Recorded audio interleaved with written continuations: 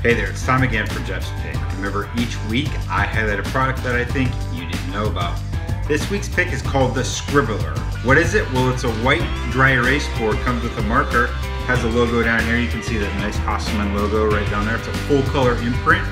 Um, and it, goes anywhere. You can stick this on your bathroom mirror, on your refrigerator. It's got a sticky back piece. Um, I even have one in my car. So basically what it is is a place where you can take notes real quickly, things you don't want to forget. You don't have your phone around. Um, just write a note to yourself on there to help you remember um, what you want to know. This week's pick is the Scribbler. Take care, guys.